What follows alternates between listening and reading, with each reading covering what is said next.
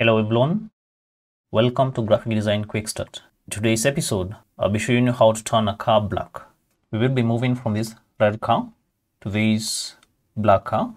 Anytime you're changing the color of an object, at least you need color to work with. And if you're wondering if you can turn a white object black, that will be quite a challenge since the darkest of shadows is between medium gray and light gray and you really have to push the luminance levels to make the light gray is black and that introduces a lot of noise in your color. Let's go to starting composition. Go to the layers panel. What you need to do first is identify which channel gives you the darkest of black. Go to the color channels. Click on red. It is quite light. On green, that is quite dark. Click on blue. The blue introduces some highlights. So we'll be going with green. Go back to RGB. Click on the layers panel. Create a new layer above a background layer. Let us name it black. Go to image. Apply image. Under layer, choose background. Change the blending mode to normal. Under channel, choose green. Click OK. We've gone overboard. We need to limit our changes to black. For that, we do a selective selection. just switch off a black layer. Click on a background layer. To select. Color range. Click on the red to sample the red color. Make sure your fuzziness is at 40, but you can always play around with your fuzziness to fit your image. Hold on shift. Drag around the image toward the other rights. Turn on a black layer. Click on it to make it active. Go to the bottom of the layers panel. Click on add mask button. There you have a black limited reds.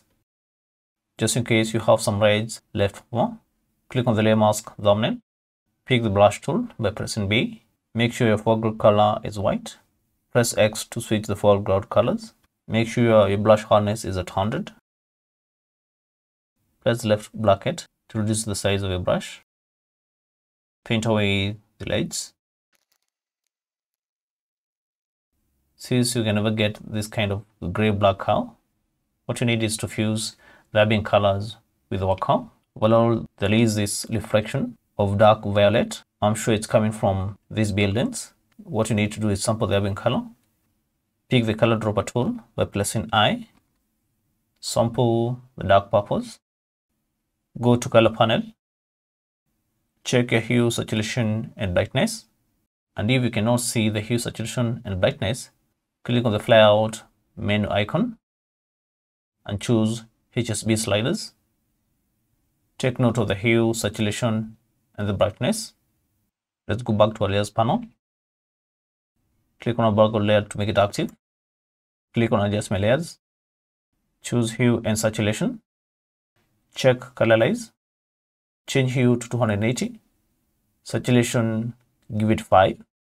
Since the car is not a mirror, it will not necessarily reflect 100% of the colors. Turn on a black layer. Click on it to make it active. Change the blend mode to multiply. And there we have our ambient color included in the blacks. Now let us limit the ambient color to a selection. Hold on Alt and drag the layer mask on the black layer to duplicate it the hue and saturation layer. Let us also recover some of the highlights in our car. Double click on an empty area on the right of black. This brings up the layer style panel. Go to the line layer. Drag the white strike bar to 50.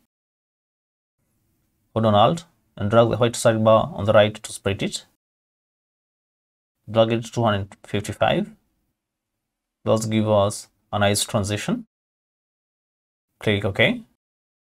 That's how the car looks like, the recovered highlights. That's how the car looks like without the recovered highlights. Let me press F a couple of times. And that's how you turn a red car black in Photoshop. That's it for today. Like, share, and consider subscribing to our channel so that you don't miss out on upcoming episodes.